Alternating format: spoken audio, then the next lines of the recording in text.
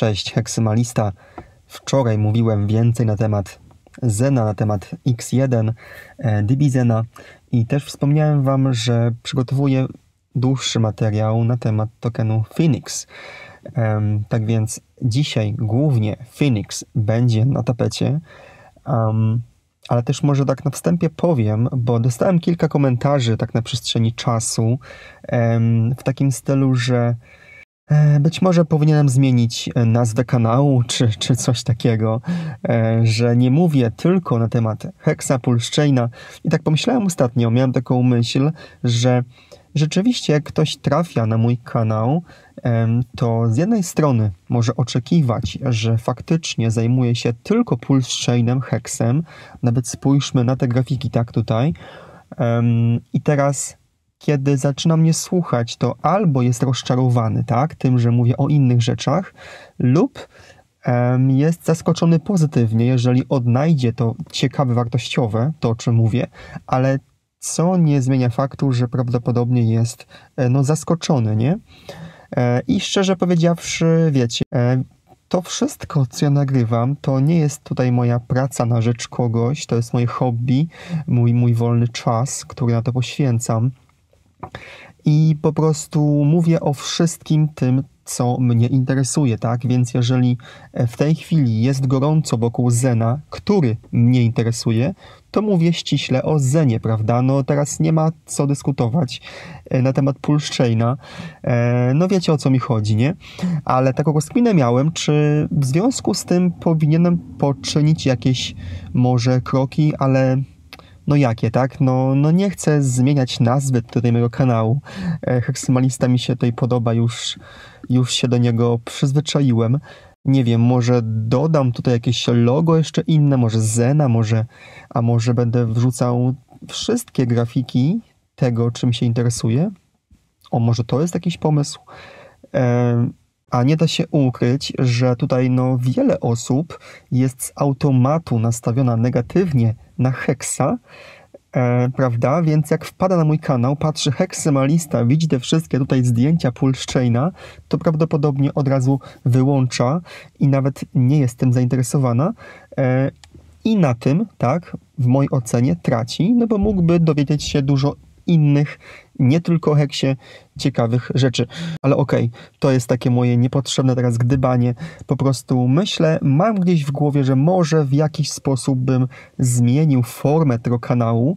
Oczywiście, aby nadal pozostać heksymalistą, ale żeby też uwidocznić to, że e, nie jest tak, że interesuje się tylko heksem. Myślę, że wiecie o co mi chodzi. E, dobra, idąc dalej, to pokażę Wam dzisiaj. Bardzo mnie rozbawił pewien komentarz, który wrzuciłem na Twittera. Tutaj kolega e, Łukasz Buczkowski na YouTubie zadał mi pytanie, skomentował pod wczorajszym filmem. Witam, mam pytanie, czy Zen dojdzie do jednego dolca? I odpisałem naturalnie. I widziałem też, że również X-Grosz podłapał tutaj żart i w podobny sposób e, skomentował też, um, odpowiedział tak, w komentarzu tego tutaj pana, e, ale wiecie co, e, to oczywiście był żart, to wiadomo, ale tak myślę sobie, że niech będzie tak, że 99% łapie ten żart, tak, e, no bo tak pewnie jest, ale wystarczy, że ten 1% tego nie złapie, to warto, abym w tej chwili właśnie o tym powiedział, że to jest żart e, i no Zen Dolca, no moim zdaniem, no nie chwyci, tak? E, niech tu będzie nawet 3, 4 zera po przecinku, to i tak w mojej ocenie jest bardzo duży sukces. no i to tyle w tym temacie. A teraz słuchajcie, przejdźmy do Phoenixa, tak? Phoenix Protocol jest to kolejny projekt, który niedługo wystartuje. Jest bardzo ściśle powiązany z Zenem. A by the way, jeszcze spójrzmy na Zena, na cenę z ciekawości Zena. 362. Widziałem dzisiaj było nawet 4, 4,8. Wow.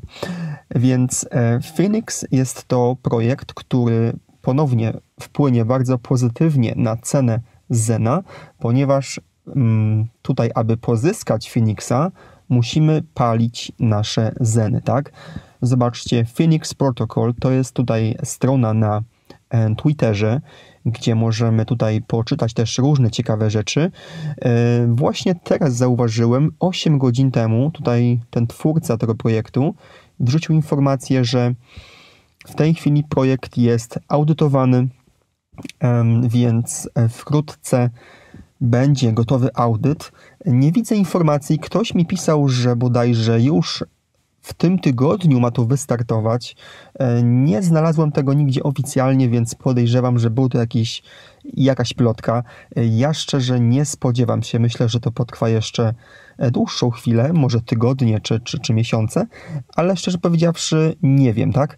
Być może wolałbym, by to było później, ponieważ spodziewam się ponownie, tak, takiej reakcji cenowej, jak obecnie widzimy przy pomocy Dibizena. Więc wolałbym, aby to było później, by Zen mógł troszkę się wypłaszczyć, spaść w dół. Chcę akumulować więcej płynnego Zena właśnie po to, aby móc wymienić potem moje tokeny Zen na Phoenix, tak? Phoenix w takim dużym skrócie e, jest to projekt podobny do Hexa, w tym znaczeniu, że również ma on za, za, zadanie tak, zachęcać nas, aby wysyłać nasze środki e, na coś na styl lokaty terminowej i po prostu, krótko mówiąc, zgarniać za to wysokie oprocentowanie. Na stronie głównej phoenix.fyi możemy wejść w Lightpaper i tutaj właśnie możemy przeczytać między innymi właśnie to, um, jakie jest założenie Phoenixa, tak? Więc lokata terminowa, um, maksymalny czas stejka jest to 51 lat, więc bardzo dużo. Um, z tego co czytałem, inflacja tutaj jest to trochę podobne jak w Heksie, chociaż nie do końca. W tym znaczeniu, że też występuje taki share, tak, że my kiedy nasze tokeny już Phoenix decydujemy się zastejkować, otrzymujemy taką wartość w share, czyli taką po prostu reprezentację naszego wkładu do puli, tak? Jestem ta pula tych wszystkich stake'ów e, i mamy taką pewną cząstkę i ten t-share to nie będzie t-shirt, to będzie taki share reprezentacyjny, tak? Więc jakby naszym celem takim może być, tak, pozyskać jak największą ilość tych właśnie share'ów. Podobnie jak było w Heksie, kiedy wysyłamy środki na stake'a, e, są dwa bonusy. E, longer pays better, tak, czym dłuższy stake, tym e, większy bonus oraz bigger pays better, czyli czym więcej tokenów jednorazowo wrzucamy w stake'a, to też mamy większy bonus. Czyli aby wyciągnąć maksymalną wartość, w t-shirtach, w tych szerach, przepraszam jak będę mówił, powtarzał t-shirt, po prostu jest to tak mocno w mojej głowie, e, ale to jest, wiecie o co chodzi, więc jak najdłużej i jak najwięcej, aby mieć wówczas jak najwięcej tych share. Inflacja tego projektu, z tego co czytałem tutaj niżej, e, jest to tylko, wydaje się tylko, tak, ponieważ jeden e, gdzie to jest 1,61% rocznie. Z tym, że tutaj jest taki bardzo ciekawy mechanizm, do którego może, a od razu Wam to wytłumaczę, że um, istotne jest w tym projekcie również, podobnie jak w Dibizenie, um, jakby czas, w którym zakładamy naszego stejka, w tym znaczeniu, że czym szybciej, tym lepiej, tak? Więc tutaj w tym przykładzie już ja osobiście będę tego pilnował um, i wszystkim, którzy mają ochotę w ten projekt zainwestować, to tak właśnie polecam. Jak najszybciej zamienić tokeny Zen na Phoenix i jak najszybciej zastejkować na taki okres czasu, jaki nam się podoba. Ponieważ za każdym razem, gdy ktoś zamienia swoje tokeny Zen na tokeny Phoenix, stosunek będzie 10 tysięcy Zenów da jednego Phoenixa, to w tym przykładzie jeden Phoenix wpadnie na portfel tej osoby, to jest oczywiste, ale kopia, jakby drugi Phoenix, trafia do osobnego pulu, który jest takim pulem bonusowym. I co 13 tygodni, tu gdzieś, gdzieś było to napisane, już nie będę szukał na tej stronie, bo to pamiętam, że co 13 tygodni e, każdy, ja, ty, ktokolwiek może jakby spuścić, tak, te nagrody, uwolnić je.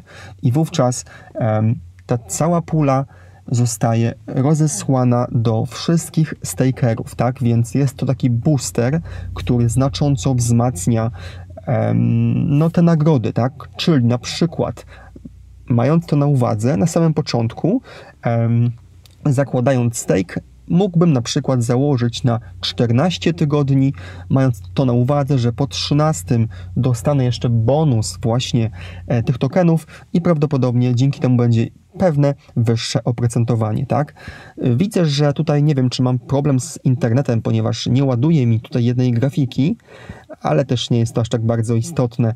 E, ta grafika jest istotna, ona pokazuje tutaj ten proces życia naszego stejka i to po jakim czasie ten stake zaczyna być break-even, czyli taki, że wychodzimy na zero, kiedy mamy tutaj w tym momencie, tak, kiedy jest 100% odbyte, wówczas e, możemy wyciągnąć tak, tą całą wartość, a następnie on krwawi. Czyli w tym projekcie widzimy, że stejki mocniej krwawią niż w przypadku Hexa. Tutaj no rzeczywiście jest to drastyczne i to ma oczywiście dwie strony. Moim zdaniem jest to dobry mechanizm, szczególnie, że w tym projekcie 100% e, tych penalty, tych kar zostaje również przesłane do tego pulu na nagrody dla stakerów. Tak, czyli tutaj nie ma jak w Heksie admin address, e, w ogóle jeszcze nie mówiłem o tym, mogłem zacząć, że ten projekt nie ma admin address, nie ma kluczy administratora, nie ma żadnej tutaj alokacji dla founderów. To wszystko jest tu napisane, tak? Startuje z zerowym supply, czyli jakby ten projekt wpisuje się stuprocentowo w te wszystkie takie założenia, które miał Zen, tak? Ten właśnie e, uczciwy start i tak dalej, i tak dalej, co powoduje, że każdy użytkownik, jaty i twórca tego projektu mamy na starcie po prostu takie same szanse, tak? Każdy musi wziąć swoje Zeny, spalić i tylko i wyłącznie w ten sposób może otrzymać tokeny Phoenix.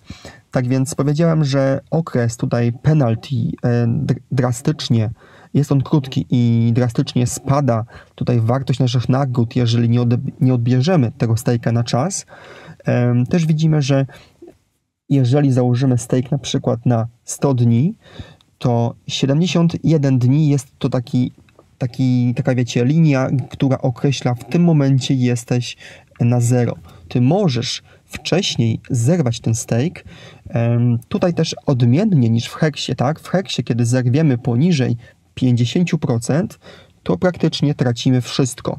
W tym przypadku nie i to widać po tej skali, tak? Praktycznie każdy kolejny dzień trwania, e, załóżmy, że odbędę 10 dni ze 100, tak? I zrywam. Oczywiście jest to no, niesamowicie nieopłacalne i tego nie polecam robić, ale nawet gdyby, to po prostu otrzymasz jakąś część, tak? E, I mówię o tym, aby Wam po prostu pokazać, że akurat ta mechanika jest troszkę inna niż w Heksie, ale generalnie tak co do genezy, no to jest to e, bardzo podobne.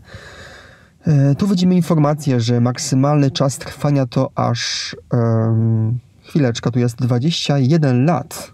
A to ciekawe, wiecie, oglądałem przed chwilą taki film też na YouTubie, e, gdzie tutaj też ktoś o tym mówił, tłumaczył i tam była informacja o aż 50, ale był to film sprzed ponad miesiąca, więc być może zostało to, na to wygląda, ponieważ w tej chwili informacja tutaj aktualna jest 21, więc najwidoczniej e, maksymalny okres trwania stejka to właśnie 21 lat. No mi się wydaje, że czy 20, czy 50 to jest niewielka różnica w tym znaczeniu, że ja osobiście, no dla mnie nie ma różnicy, tak? Bo nie mam zamiaru wysyłać na aż tak długie stejki. Wyjątkiem jest tutaj HSI, tak, HSI w Heksie, gdzie tutaj mogę swobodnie wysłać na 15 lat, wiedząc, że takim stejkiem mogę sobie później e, dysponować, sprzedawać i tak dalej. Ten projekt jest banalnie prosty, tak? On ma sto kilkadziesiąt linii kodu, to naprawdę jest bardzo, bardzo niewiele.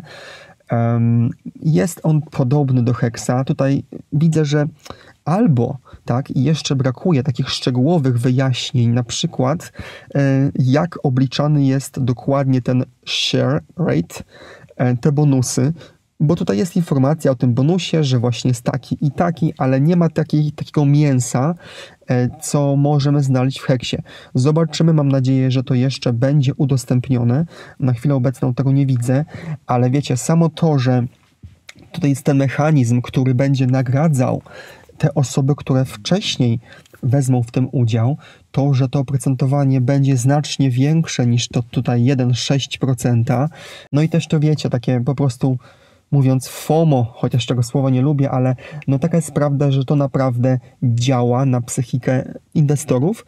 E, no widzimy to chociażby po Dibizenie, tak? Więc ja spodziewam się, że kiedy ruszy Phoenix, będzie ciekawa pompa, sam będę brał w tym udział, nie mocno, tak? To nie jest tak, że tutaj rzucam połowę moich e, zenów na Phoenix, na pewno nie, ale tą część, jaką mam nadzieję, że dokupię sobie, tak, na jakimś dołku wkrótce, e, mam nadzieję, że uda mi się to właśnie zamienić.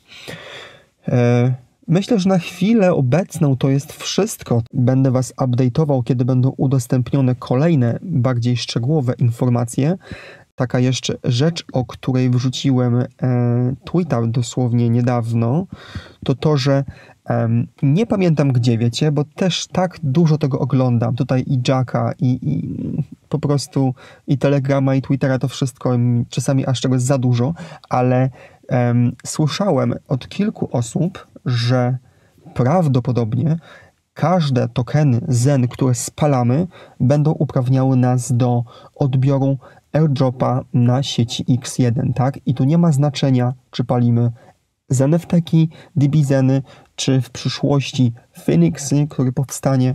To wszystko nas uprawnia do odbioru tokenów X1.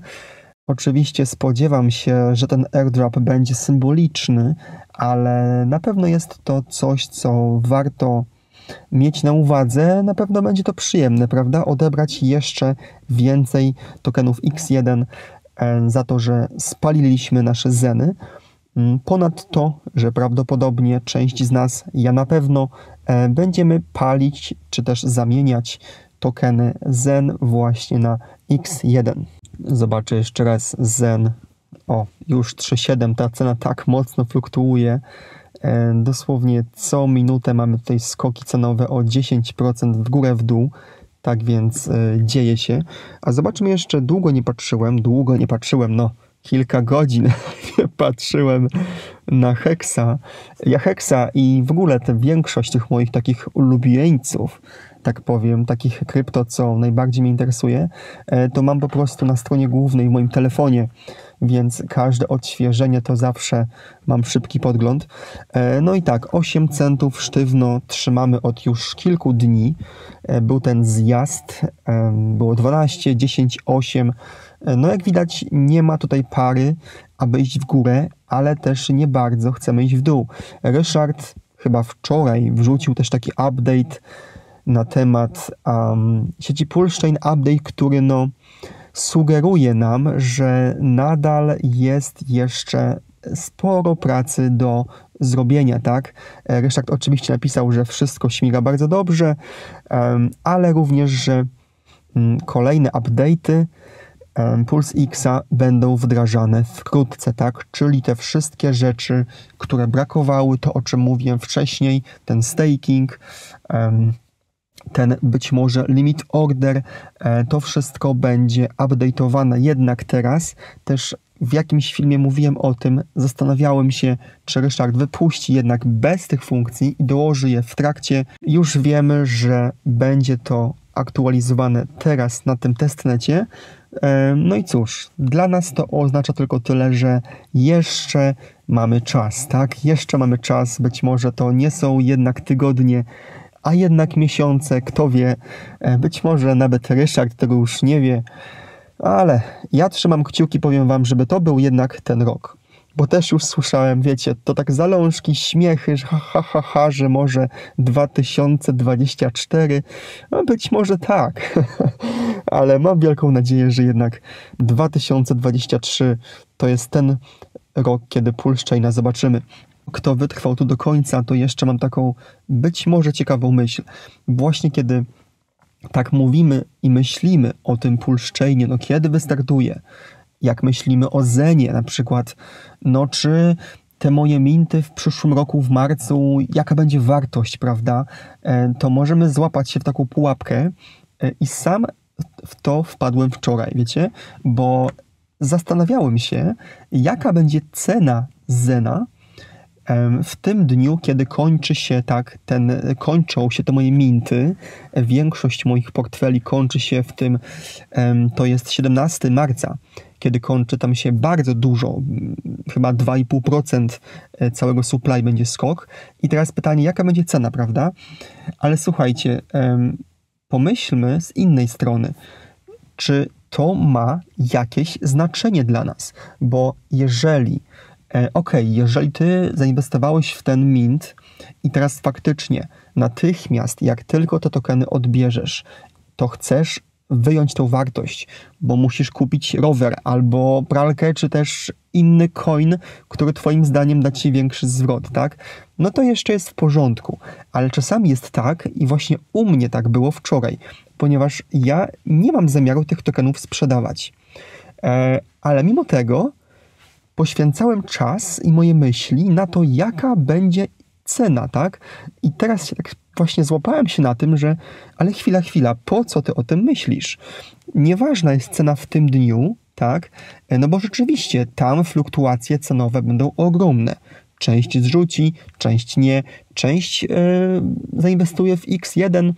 Moje tokeny odbiorę tak czy inaczej i będę je trzymał, bo perspektywa Zena, tak, perspektywa tego, że z każdym rokiem będzie coraz mniej inflacyjny lub też nawet już potem e, będzie stałe supply, plus to, że kolejne ogromne palenie na Phoenix, palenie na X1, palenie na inne jeszcze nie powstałe projekty, to wszystko wpłynie na to, że ja wierzę, że to tokeny Zen jeszcze wypracują dużo większą wartość, tak, niż to, co teraz do tego czasu, więc do tego czasu, tego marca, tak, więc nawet jak w marcu będzie zjazd na minus, nie wiem, 50%, to naprawdę w moim przypadku nie będę się tym martwił, że no, straciłem 50% wartości, bo wierzę, że i tak w dłuższej perspektywie zarobię więcej. I chodzi mi tylko o to, abyście po prostu zadali sobie szczere pytanie, jaki jest wasz cel z tym zenem, jaki jest wasz pomysł, tak?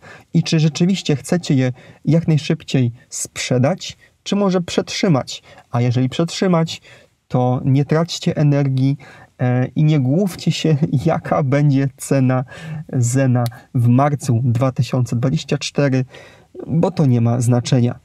Dzięki, trzymajcie się, do usłyszenia. Cześć.